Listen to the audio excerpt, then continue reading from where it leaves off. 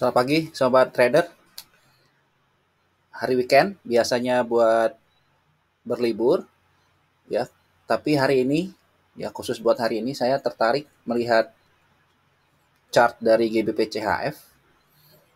Ya, lagi iseng lihat di laptop, kemudian saya menemukan pola-pola dari chart pattern. Nah, pagi ini kita tidak membahas tentang top down analisis seperti yang saya lakukan, ya dari video-video sebelumnya. Kali ini kita bahas tentang chart pattern. Nah, berbicara tentang chart pattern ini adalah satu pola pattern yang terjadi berulang di market. Seperti kita ketahui bahwa pergerakan di forex market itu terlihat random, ya. Nah, tapi pada dasarnya kalau teman-teman bisa jeli melihat satu pola di market, itu sebenarnya ada pola-pola yang terjadi berulang. Nah, salah satunya adalah pola dari chart pattern. Kita tidak perlu menghafal secara keseluruhan dari pattern ini, ya, tapi yang lebih terpenting adalah bagaimana sebenarnya chart pattern ini terbentuk. Ya, bagaimana sebenarnya chart pattern ini terbentuk seperti pola head and shoulder, kemudian pola falling wedge, kemudian rising wedge, ya.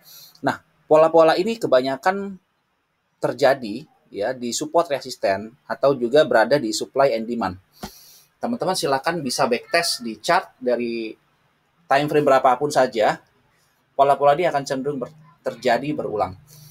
Nah, kebetulan saya mendapatkan satu chart di pair GBP CHF dan di dalam satu chart tersebut di time frame H4 seperti teman-teman lihat di chart sekarang tampilan di layar, sekarang kita menemukan satu uh, ada empat pola yang terjadi yaitu falling wedge, oke, okay, falling wedge dan sudah terjadi rising wedge ini belum terjadi. Nah, ada potensial kita untuk melakukan short di situ dengan konfirmasi PA. Teman-teman bisa gunakan konfirmasi untuk entry sell ya di uh, batasan kira-kira di 1.20 ribu ya. Kebetulan ini adalah bilangan round number. Ya, saya lagi sedang mengamati nanti bagaimana reaksi harga di kawasan di sini. Kemudian juga kita melihat yang sudah terjadi, yang warna hijau ini adalah pola head and shoulder. Sedangkan yang warna pink ini adalah inverse head and shoulder. Ya, oke, okay, mari kita bahas contoh yang falling wedge. Kalau teman-teman lihat di sini ada satu gerakan membuat satu pola down tapi kemudian mengkerucut. Ini disebut sebagai pola falling wedge. Ya, oke, okay, saya tampilkan contoh gambar-gambarnya. Nah, ini adalah satu pola-pola yang terjadi di market Nanti saya bagikan di channel Telegram ya. Nah, ini adalah satu pola rising wedge. Ya, rising itu kalau dia menuju ke atas ya ada satu pengerucutan kita sebut sebagai pola rising wedge. Sedangkan ke bawah kita sebut sebagai falling wedge. Yang ini adalah falling wedge. Teman-teman bisa lihat falling wedge yang ini sama dengan contoh dari gambar yang ada di chart ini. Ya, ini adalah pola falling wedge. Kemudian pola rising wedge adalah pola yang kita lihat di bagian sebelah sini. Ini adalah rising wedge. Ya, seperti ini. Ini adalah pola dari rising wedge continuation. Ya, dan yang ini adalah pola falling wedge reversal. Jadi sebenarnya ada pola-pola chart pattern di mana polanya adalah pola continuation, juga ada pola reversal. Teman-teman bisa banyak banyak sekali pola-pola teman-teman bisa pelajari, tapi sekali lagi semua pola ini terjadi di support resistance juga supply and demand. Jadi basicnya teman-teman harus tahu bagaimana cara menemukan supply demand karena ini akan menjadi satu keunggulan buat teman-teman semua. Ya bukan kita cuman bukan cuma berbicara tentang bagaimana bentuk dari patternnya akan tetapi kita belajar bagaimana sebenarnya terbentuknya pola chat pattern itu. Ya behind the scene-nya seperti apa. Jadi kita bisa dengan kita tahu kenapa pattern ini terbentuk maka kita bisa mendapatkan lebih awal pattern itu terjadi. Ya kalau pattern ini sudah terbentuk ketika sudah terbentuk nih ya sudah terbentuk seperti contoh ini ini pattern ini sudah terbentuk, kemudian harga sudah rally seperti ini. Nah, ini kan ya nggak perlu juga ya, karena patternnya sudah terjadi. Bagaimana jika kita menemukan pola yang belum terjadi seperti ini? Nah, ini yang menarik. Ya, dengan kita menggunakan batas-batas supply demand dan support resisten menjadi mudah buat kita untuk menemukan sebelum terjadi pattern itu. Ya, sehingga dengan demikian, sehingga demikian kita bisa lebih awal mendapatkan peluang. Ya, mendapatkan peluang untuk melakukan short ataupun melakukan posisi long. Ya, jadi kebanyakan trader tahu pattern itu terbentuk setelah terbentuk baru bisa digambar. Nah, itu gampang. Yang sulit adalah bagaimana pola itu masih dalam proses pembentukan, tapi teman-teman sudah menangkap pola itu. Nah, ini menjadi satu hal yang sangat-sangat penting untuk kita pelajari, ya. Seperti itu. Ini adalah polanya. Ya, ini adalah area demand. Ya, kalau saya gambarkan kira-kira seperti ini. Gambarkan ya. Ada area demand. Ini ada area demand di sini ada area demand drop base rally ini adalah pas historinya seperti itu kemudian approach-nya approach-nya dia membuat satu kemiringan ya membuat satu kemiringan seperti ini membuat satu kemiringan kalau sudah kita melihat satu kemiringan yang terjadi seperti ini tidak ada ukuran berapa jumlah derajat kemiringannya yang yang penting adalah ketika dia masuk ke dalam kawasan area demand approach-nya ini sudah mulai melandai dan mengkerucut. Nah, di sini kita bisa cari siap-siap buat cari peluang untuk melakukan buy. Ini adalah pola daripada rising oh, sorry, falling wedge.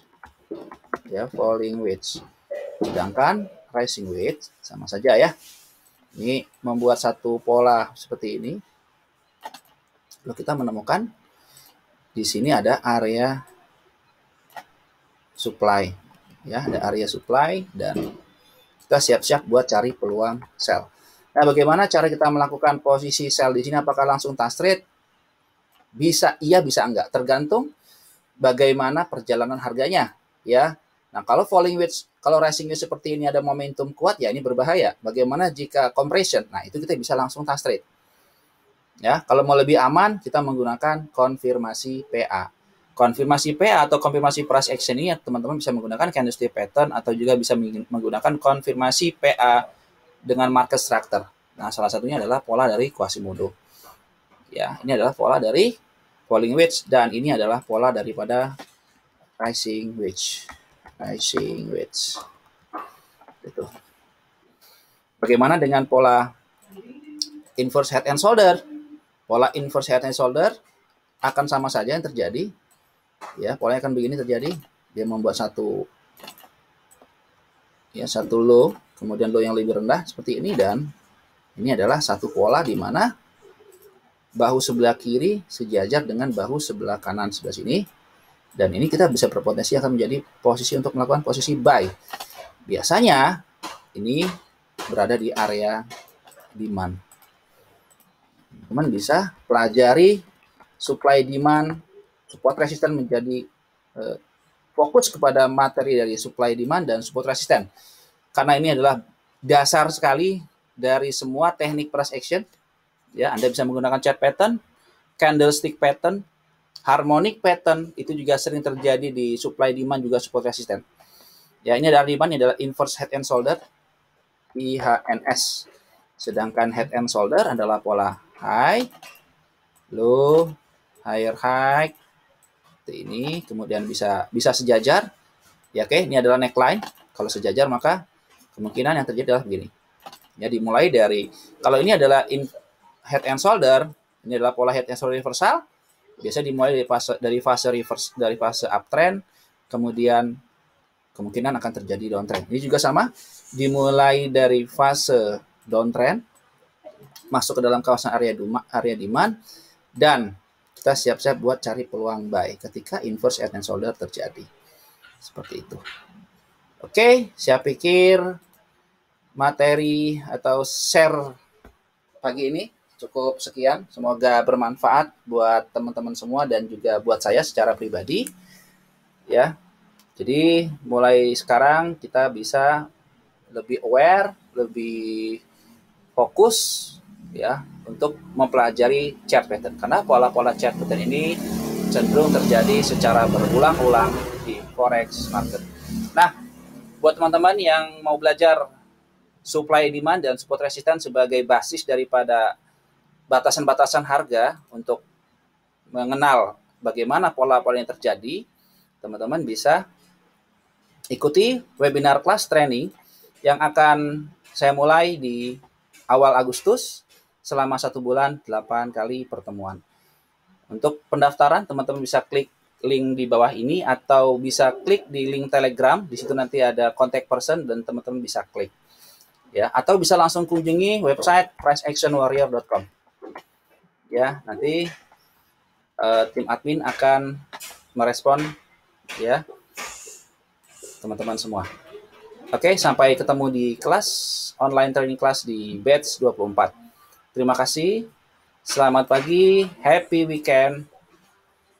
Ya, happy weekend. Bye.